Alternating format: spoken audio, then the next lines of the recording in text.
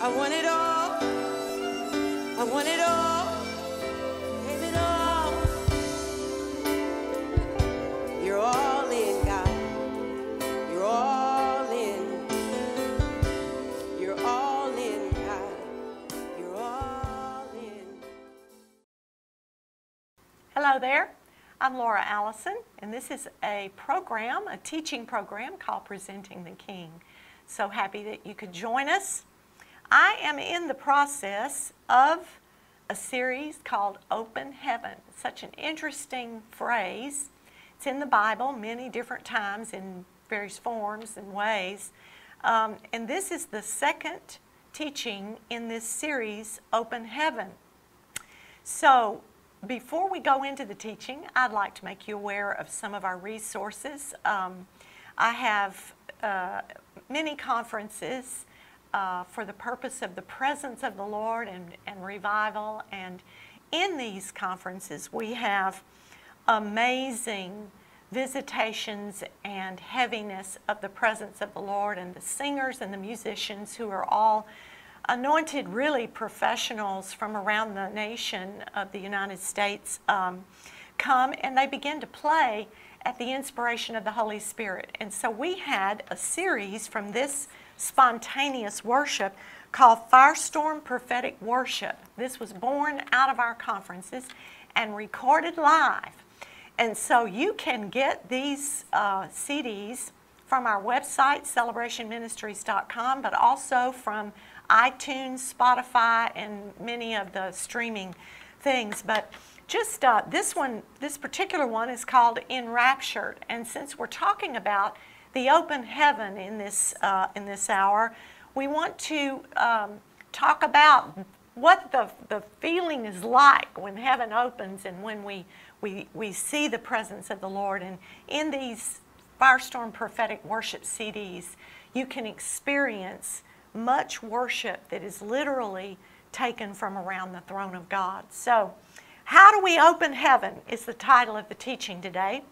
Um, we talked in, in the first uh, teaching of this about what is an open heaven. And, and actually, you know, the Lord teaches us to, uh, to pray in earth as it is in heaven. And how does that happen? You know, does it just kind of blop? Is it plopped there? Is it, does it come and go?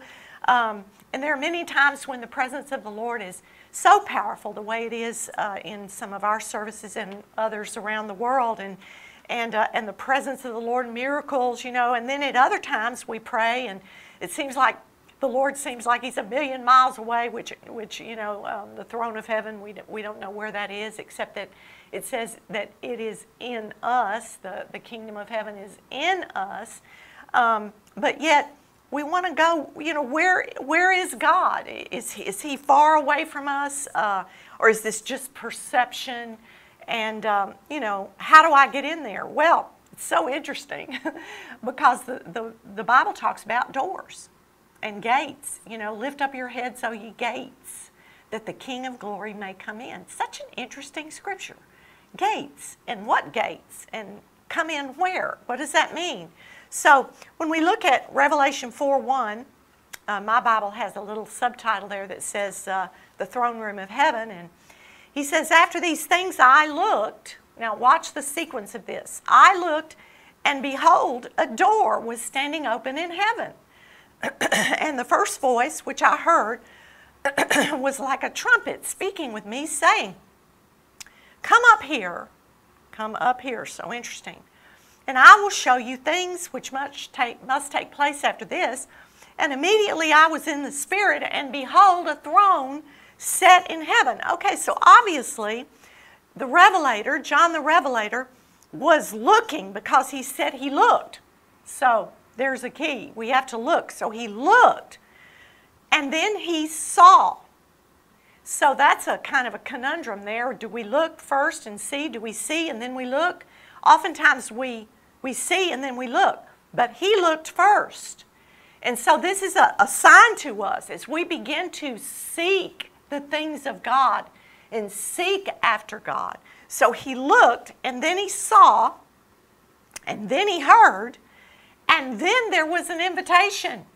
So we have to seek. If we want to have a door open to us in heaven, we have to begin to seek. And we have to expect, and, and, and then we will see and even hear. And then there's a come. And, it, and he, it's so interesting. All that happened in verse 1, and then it wasn't until verse 2 where he said, Immediately I was in the Spirit, and I saw in heaven. Now, Revelation 3 7 through 9, um, we know this is uh, the, the uh, address to the church in Philadelphia, and he says, He has the key of David. He opens, open, and no one shuts, and he shuts and no one opens. He said, I know your work. See, I have set before you an open door. I have prayed for many, many years uh, since the beginning of my ministry. I prayed that scripture.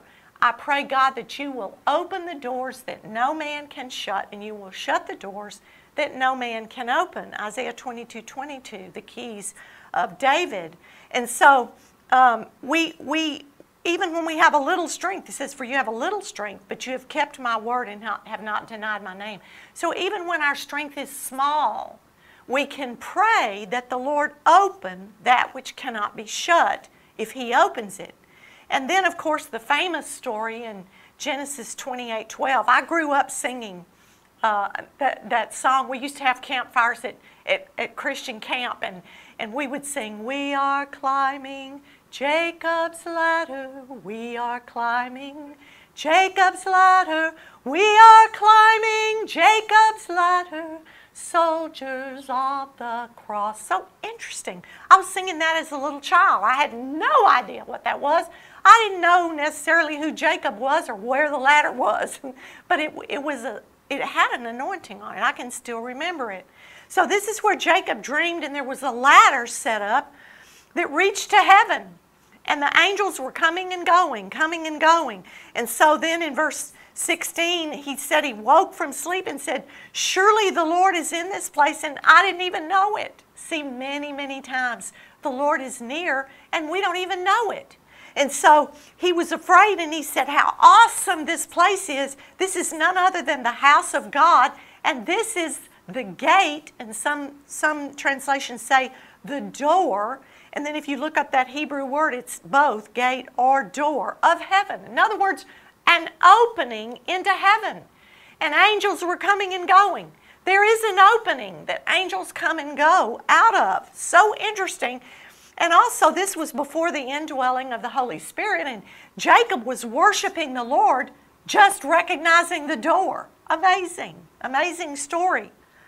Then we see an interesting scripture in Isaiah 64 verse 1 Oh, that you would rend the heavens and come down, that the mountains would tremble before you. Now, why does there need to be a rending or a tearing or a breaking of the heavens? I'm sure many of those times in, in the time before the indwelling of the Spirit that, that there was a yearning for God. They didn't know why. But that yearning for God has survived the ages, and man still can feel separated from God. So we want to kind of look at some what I would call heaven openers in the Bible. So interesting because these were great, some great prophets, uh, great men of faith, even before that uh, veil was rent in the in the holy holy of holies, even before Jesus came and made the way for the indwelling and then brought the Holy Spirit. But Enoch, in Jude 14, we're not going to look at that scripture, but it says in Jude, Jude 14, Enoch was, he prophesied and said, Behold, the Lord comes with ten thousands of his saints. Well, he saw that. He saw that in the future. He saw the future. He, he looked into heaven and he saw the future. And the Bible tells us um, in Genesis that he walked in the Amplified, it says, in the habitual fellowship. Oh, how wonderful that would be. In the habitual fellowship with God, and, and he walked in such fellowship with God that one day he was walking in heaven with God and not on the earth anymore. Now, that's an open heaven, going, seeing into, as John the Revelator, and going as well. Elijah was a heaven opener. He was a man, uh, James 5 says he was a man that, like we are, he prayed that it would rain in the midst of great drought and famine. And then it rained, and the heavens opened, and the earth brought forth the fruit. So I love, though, my favorite part about Elijah. This is one of my favorite scriptures. It came to pass, 2 Kings 2:11, it came to pass that as they talked that there appeared a chariot of fire and horses of fire, and Elijah went up by a whirlwind into heaven. Now, an interesting thing happened because Elijah caused that heaven to be opened and a double portion of his anointing he bequeathed, so to speak, or gave or gave the mantle to Elisha, and Elisha seized it, and in Elisha's ministry there came extreme harvest. And you can see the the the, the you know, in uh, 2 Kings 7 1, he talks about, Hear the word of the Lord tomorrow, a measure of fine flour be for, sold for a shekel. He saw harvest and multiplication in this double portion of the anointing. So that would help us to understand that where there's open heaven, there's extreme harvest. And so we begin to pray and we begin to seek God, and, and there, there can be that transferring heaven to earth, earth to heaven, heaven to earth. Now, 2 Corinthians 12, verse 3 says, I knew such a man, whether in the body or out of the body, God knows, how he was caught up into paradise, caught up into heaven, and heard unspeakable words, which it's not lawful for man to utter. So now these, these things in the Bible show us that that's possible. heaven open before us is possible and does happen. So, how did they do it? What causes or what opens heaven? How can we become heaven openers? so, first of all, number one, prayer. Absolute prayer. Communication.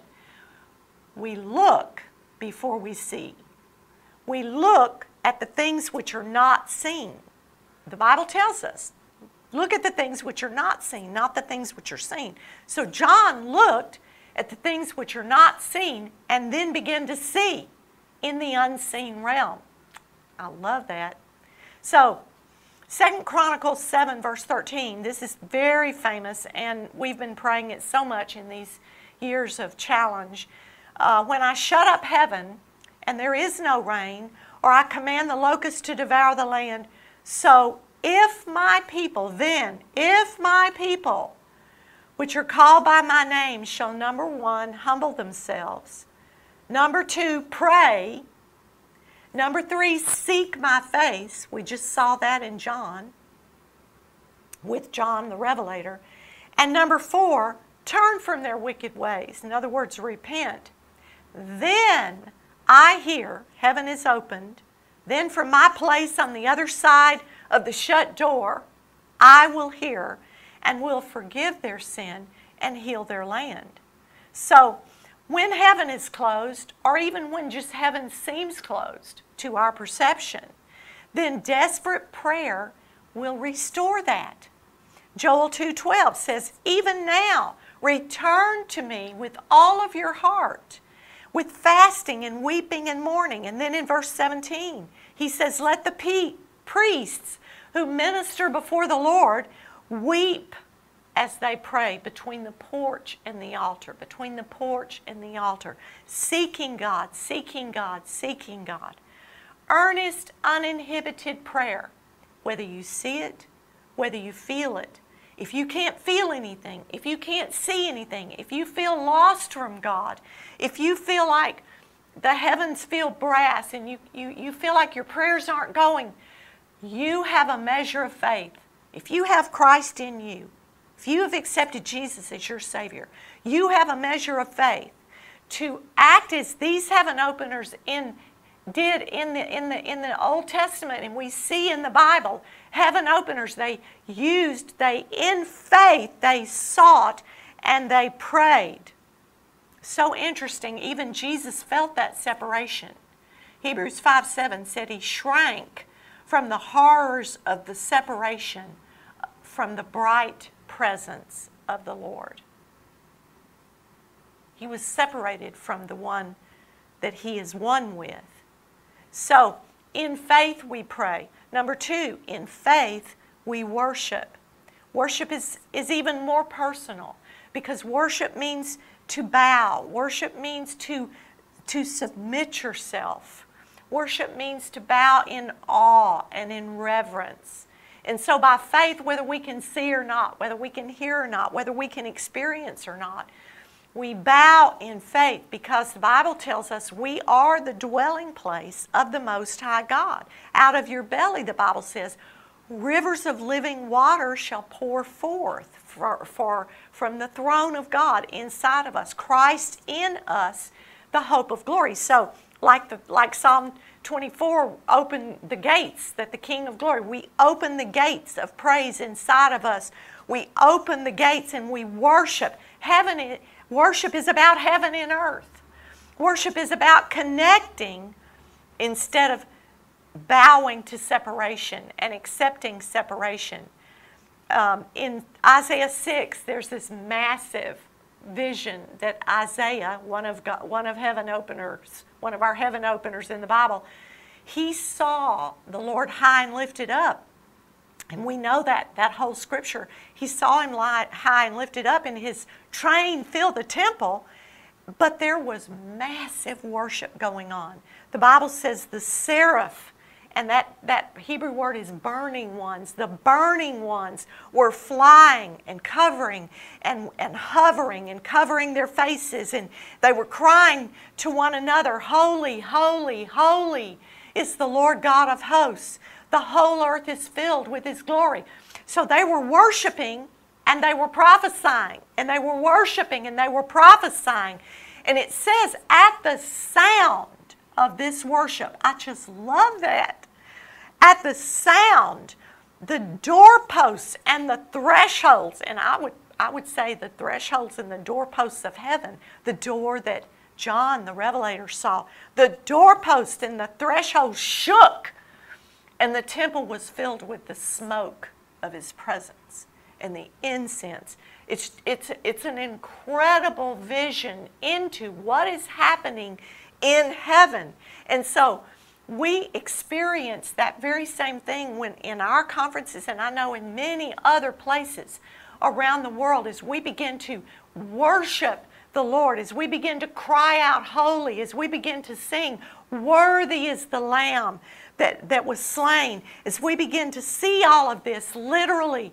We, some, sometimes you can even experience that shaking and, and your flesh becomes weak and you fall on the floor. And we've seen massive moves of God like that where, where there, we've seen the cloud, we've seen the smoke in the sanctuary, the physical sanctuary. We've seen gold dust flying in the air in the physical sanctuary because of the presence of the Lord and the extravagance of the worship, of the submission, just like the burning ones. And then we become like burning ones crying out, Holy, holy, holy. Now, it's an interesting concept, but number three, um, death and resurrection can produce that experience with the Lord where the heavens are opened. John 12, 24 said, says, except a, a, grain or a corn of wheat fall into the ground and die, it abides alone. It doesn't do anything, it doesn't have any effect. But if it dies, it brings forth much fruit. It can fall into the ground and it must die because then it brings forth much fruit, much fruit. So from seed sown, great harvest comes. From an open heaven, great harvest comes. And so the Lord, the Lord says, precedent is set over us of an open heaven and an extreme harvest as the prayers of the saints fill the bowls in heaven. Great harvest. So we contend, even as we do in, in the, the priests weeping between the porch and the altar, the, the, the desperation if my people who are called by my name humble themselves and pray and seek my face. We've been doing that all over the world here in this, in this challenging year. And it's producing mighty harvest. Even as heaven, as Enoch went up to heaven and, and Elijah and all of them, that's available to us. And I've seen so much of that in my own life as, as tragedies and circumstances have happened and deaths. Many of us, all of us, have experienced challenging circumstances in the earth. But if we allow those dreams, if we allow those sorrows to fall into the earth, we submit those to the Lord and we worship in spite of that. And we worship in faith. We, we speak in faith. We seek Him in faith. The Bible tells us that David, when his son died, it said he, he rose and he encouraged himself in the Lord. And so, as we do that in, in repentance and in obedience as a lifestyle, then the heavens begin to be opened. Um, when Jesus was baptized, John baptized in the baptism of repentance, and Jesus submitted to him in the baptism of repentance. And when he did that, heaven opened and God spoke and said, uh, We have uh, learned, he has learned obedience by the things he suffered. But the Lord said, Here is my beloved Son, whom I'm well pleased. So we know that repentance and obedience open heaven. As a result, you know, disobedience closes heaven. Um, and we see that in Deuteronomy. Um, you know, if you don't obey the voice of the Lord, the heavens over your head will be bronze, and the earth will be like iron. But obedience is better than sacrifice. So, number five, we become then heavenly minded. John the Revelator was heavenly minded. He was looking and then seeing into heaven and then caught up in the Spirit. He was heavenly minded. Colossians 3, verse 1. This will open heavens. So if you're risen in Christ, seek the things which are above. Seek the things that are in heaven, where Christ sits at the right hand of God. Set your things on these, your, your view, gaze, your mind on these things, not on the things of earth. So 2 Corinthians 4:16 then tells us, of course, so don't faint, even though your your outward thing is, you know, your body is perishing, you're getting older.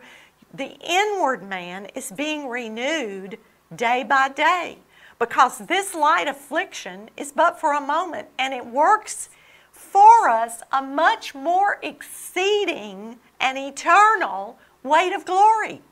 So, there again, here's the scripture. We look at the things which are not at the things which are seen, but at the things which are not seen. So that means what? That means we're exercising our spiritual eyes, our spiritual ears, our spiritual senses. We have to practice the things of the Spirit, just like we practice if we want to run a marathon, we practice and we run and we develop muscles and we begin to, to, to uh, strengthen our outer man. So we strengthen our inner man through prayer and through worship and through repentance and obedience and through seeking and through looking for the things of the Lord. We exercise our spiritual eyes. Ephesians 1:18 says, "Then the eyes of your of your understanding will be enlightened that you may know the hope that you're called to and what the riches of the glory of the Lord is in the, in, in the saints. So we meditate on the glory of the Lord. We set our sights on the things which are above. We, we identify where heaven is, and then we go there. So the kingdom of heaven is in us, and Jesus is the door. John 10 9, I am the door. so if anyone comes in through me, he will be saved, and he will come in and he will go out freely, the Bible says.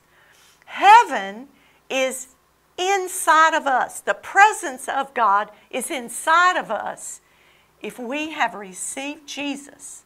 And then, even the second time, if we have received the baptism in the Holy Spirit, then we don't have to look way out somewhere for God. Because as we begin to pray, then heaven is opened. Heaven is opened in us. Heaven in us, Luke 17 21, the kingdom of heaven is within you. That, that's applying to you today. The kingdom of heaven is within you.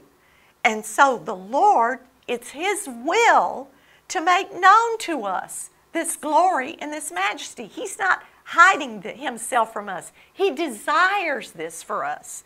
He is looking for us as we are looking for Him.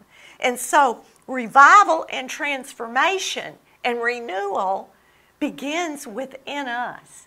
If you feel dead inside, if you feel like there's no hope, if you feel like you are separated from God, there is an open heaven waiting for you.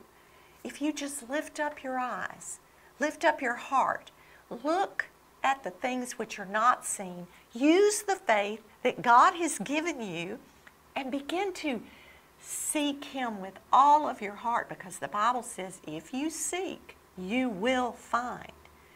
And I encourage you today, wherever you are in your journey with God, there is more.